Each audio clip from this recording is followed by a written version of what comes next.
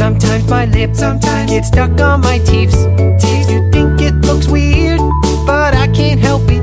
Oh no, my lip just gets stuck on my teeth.